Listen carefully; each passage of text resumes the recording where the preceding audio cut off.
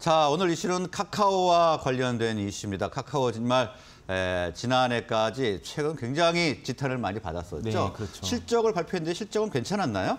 네, 저희 카카오의 실적 발표가 최근 있었는데요. 카카오의 지난해 성적은 외연 확장과 수익성 악화로 요약할 수 있겠습니다. 음, 네. 네, 연간 매출은 8조 1,060억 원, 연간 영업이익은 5,020억 원으로 집계됐는데요. 어, 매출은 전년 대비 14% 증가하면서 역대 최대치를 찍었습니다만 어, 영업이익은 11% 감소하는 모습을 보였습니다. 이에 따라 기업의 대표적인 성장 지표인 영업이익률도 하락을 했는데요. 카카오의 2023년 연결 기준 영업이익률은 6.2%로 나타났습니다. 플랫폼 기업임을 고려하면 매우 낮은 편에 속하는데요.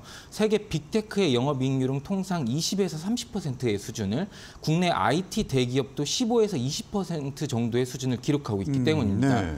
야, 카카오의 지난해 성적은 그래서 사업 외연 확장 측면에서는 성과를 올렸으나 내실은 챙기지 못했다고 평가할 수 있겠습니다. 뭐 한 거죠? 지금 그렇죠. 국내 대기업이 15에서 20%, 어, 세계 빅테크는 20에서 30인데 6%입니까? 예, 예. 아주 매우 낮은 수익률을 보이고 있다는 것을 방증합니다.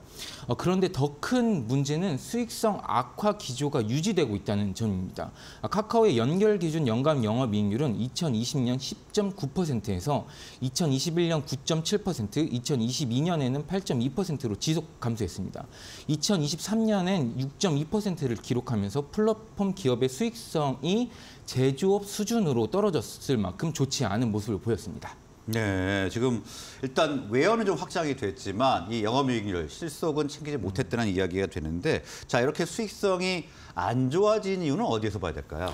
네, 저기 그 카카오의 매출 측면에서는 성장을 지속해서 이루고 있는 모습입니다. 아, 카카오의 연결 기준 연간 매출은 2022년 7조 원을 처음으로 돌파했고 지난해 8조 원을 넘어설 정도로 빠르게 성장하고 있습니다. 반면 영업이익의 성장 속도는 매출 규모의 증대 속도에 비교해서 현저히 떨어지는 모습인데요. 어, 지난해인 되레 영업이익이 전년 대비 감소하기도 했습니다. 매출이 빠르게 늘었지만 수익성이 악화하는 기조는 통상 스타트업에 이제 자주 나타나는 현상인데요. 예. 어, 사업 영향력 증대를 목적으로 하는 스타트업의 특성상 눈앞의 수익성보다는 외연 확장에 집중하기 때문입니다. 어, 대기업 카카오에서 이런 스타트 업 특성이 나타났다는 건 자주 지적되는 문어발 확장과 무관치 않은데요. 현재 카카오 그룹은 사업 기간이나 덩치 면에서 스타트업은 고사하고 중견기업으로도 부를 수 없는 대기업에 속합니다. 어, 그런데 경영 방식은 외연 확장이 급급한 스타트업의 형태를 쫓고 있고 이 같은 기조가 매출 확대, 영업이익 하락을 나타낸 연결 기준 실적에서도 고스란히 반영된 것입니다. 어, 대기업 수준으로 덩치가 커진 지 꽤 오랜 시간이 지났음에도 10년 전 사업 방식을 유지하면서 많은 문제를 일으키고 있다라는 대평가가 자주 하는 등장의 배경으로도 지목할 수 있겠습니다. 네, 자 이렇게 카카오가 문어발식 경영 많이 이제 지적이 되고 있지 않습니까? 인사 문제도 좀 있었고 지금 어, 뭐 사법 리스크 문제도 상당히 대두가 되고 있죠. 아 또 뭐 최근에 카카오 모빌리티에서 강력한 제재를 취하기로 했다는 뭐 보도도 접한 것 같은데 네. 자 이렇게 카카오 계열사가 빠르게 늘고 있는 것이 수익성 악화의 원인이다 이렇게 지적이 되고 있는데 지금 계열사 현황은 좀 어떻습니까? 네, 계열사 상황이 굉장히 빠르게 늘고 있다는 게 관측이 되는데요. 어, 카카오 그룹의 계열사 수는 2018년 그 65개에서 2021년 105개로 증가한 데 이어서 2022년에는 138개로 빠르게 증가하는 아, 모습을 보였습니다. 네. 예, 대회에서 문어발 확장 지적이 그 제기되면서 계열사 정리 작업을 진행해서 2023년 2월에는 계열사 수가 126개로 줄었긴 했습니다만 2023년 5월 SM 엔터테인먼트를 인수하면서 다시 147개로 급증하는 모습을 보이기도 했습니다. 뭐 하려고 이렇게 많이 늘린 그렇죠. 겁니까? 이게 굉장히 예? 빠르게 증가하는 추세인데요. 그 100개가 뭐 150개에 육박하네요. 맞습니다. 어, 카카오 계열, 아, 카카오 그룹의 계열사 수는 현재 137개를 기록하고 있습니다. 어, 계열사 통합 작업을 지속하면서 최근 그 수가 다시 줄고 있긴 하지만 그 속도가 대회 눈높이에 비해 현저히 느리다는 지적이 나옵니다. 카카오는 계열사를 늘리는 과정에서 미용실, 꽃집, 중간물류, 퀵서비스는 물론 대리운전과 배달, 부동산, 암호화폐, 골프 등에 진출하는 모습을 보였는데요. 미용실은 또 뭡니까? 그렇죠. 굉장히 이야, 많은 그 사업에 네. 진출을 하는 모습을 보였습니다. 곧장 대회에서 골목 상권 침해 논란이 제기됐고요. 카카오의 창업자인 김범수 그 미래 이니셔티브 센터장은 지난 2021년과 2022년에 연속해서 국정감사장에 불려갔습니다.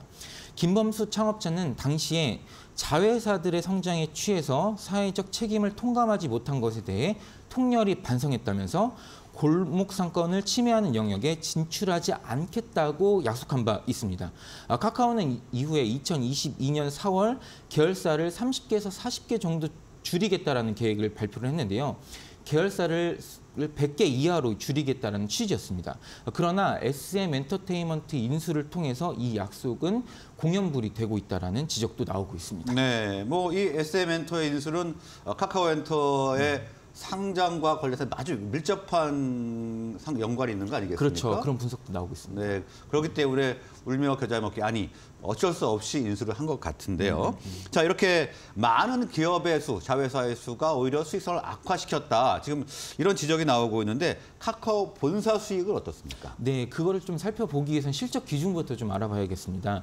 아, 실적 기준은 크게 두 가지로 나뉘는데요.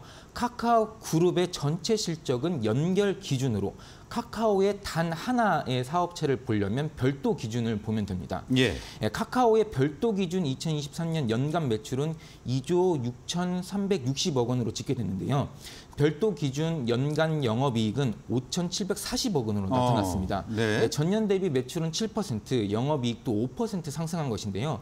어, 무엇보다 영업이익률이 21.6%로 집계됐습니다. 이는 카카오 본사만 두고 본다면 사업이 빅테크 수준으로 안정화를 이뤘다는 점을 나타냅니다.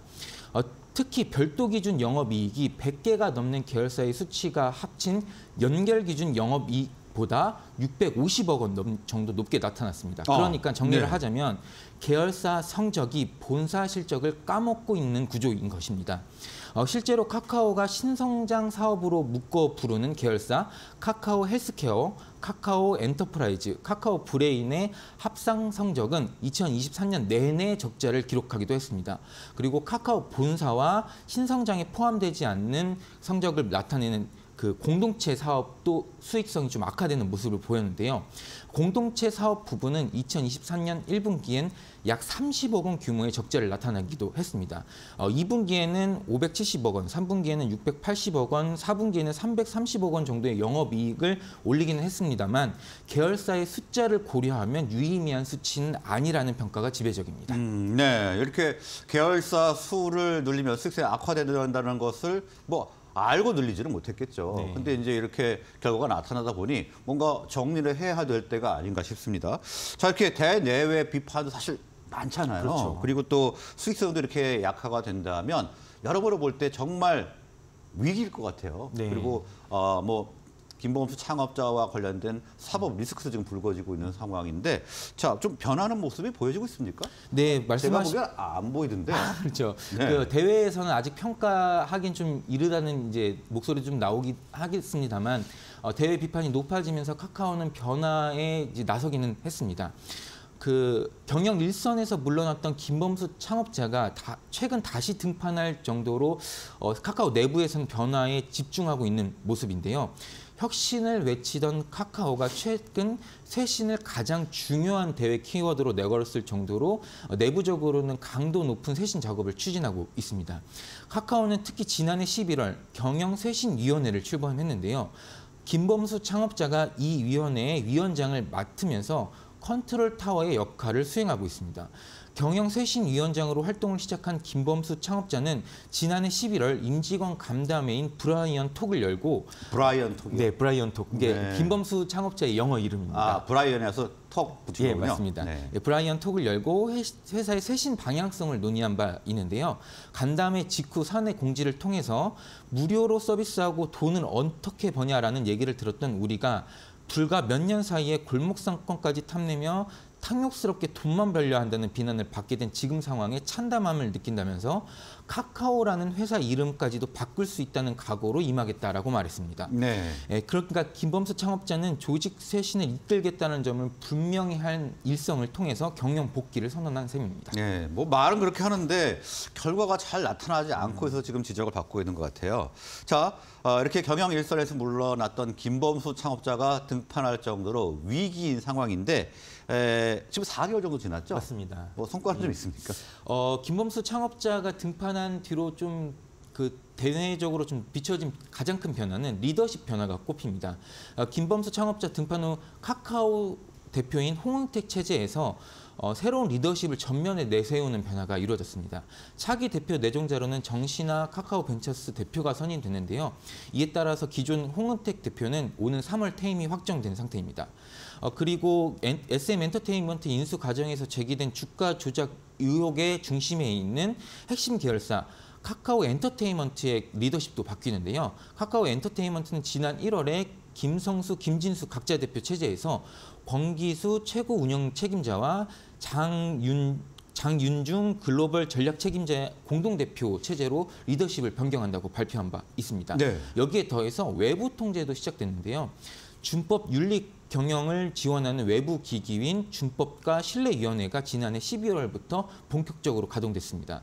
김소영 전 대법관이 준법과 신뢰위원장의 위원장을 맡아 조직 쇄신에 대한 조언을 구, 구- 그 전하는 이런 구조로 보시면 될 것 같습니다. 네. 자, 뭐 인적 혁신을 통해서 좀 어, 변화를 꽤 해보겠다 이런 방법을 보이는데, 어, 그러니까 SM 엔터 인수를 무리하게 추진하면서 모든 것들이 이렇게 불거지지 않았습니까? 그렇죠. 그러니까 아, 정도가 아니면 걷지 말라 이게 좀 말이 생각이 네. 나네요. 자, 리더십 변화뿐 아니라 지금 시스템 정비도 이루어지고 있는 거죠? 예, 맞습니다. 그 카카오 내부 의사 결정을 조율하는 CAA 협의체란 조직이 있는데 여기에 조직 쇄신을 강조하는 방향으로 개편이 최근 이루어졌습니다. 어, 시스템을 정비해서 문제 발생을 미연에 방지하겠다는 취지인 것이죠.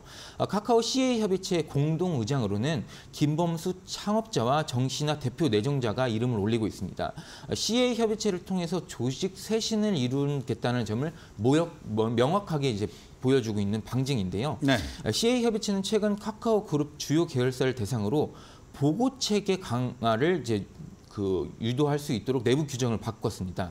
어, 계열사가 신규 투자를 집행하거나 그 유치를 하려면 CA, 협의체의 승인을 받아야 되는 구조를 마련한 것입니다. 그리고 여기에 더해서 지분을 매각하거나 내부 운영 체계를 변경할 때도 CA 협의체의 승인을 받는 구조인 것이죠. 어, 스타트업 방식을 유지했던 그 계열사들이 무분별한 확장을 통해서 다양한 그 문제를 일으키면서 이를 이제 이게 대내적으로 비판이 거세지면서 본격적으로 이를 통제하겠다라는 취지인 것이죠. 어, 카카오는 이와 함께 내부의 브랜드 커뮤니케이션 위원회도 최근 신설을 했는데요. 이 위원회를 통해서 대회에 내보내는 메시지의 적절성을 검토하겠다는 취지입니다. 어, 김범수 창업자가 다시 경영에 참여하면서 조직 변화가 좀 이루어지곤 있지만 카카오에 대한 여론은 여전히 국민 밑상 기업에 가깝습니다. 어, 과- 이를 통해 최근에 이루어지는 변화를 통해서 국민 기업 과거의 모습을 되찾을 수 있을지 시장의 관심이 높아지고 있는 상황입니다. 예, 방금 전에 지금 지적을 해 주신 대로 이제 카카오는 국민 기업에서 국민 밉상 기업으로까지 지금 비춰지고 있는데 자, 이런 모든 어, 쇄신 활동들이 잘 이행이 돼서 어, 다시 국민 기업으로 들어왔으면 하는 에, 바람을 가져봅니다. 주가도 조금 움직이고 있죠? 그렇습니다. 네. 예. 자, 오늘 말씀은 여기까지 듣겠습니다. 고맙습니다. 예, 감사합니다.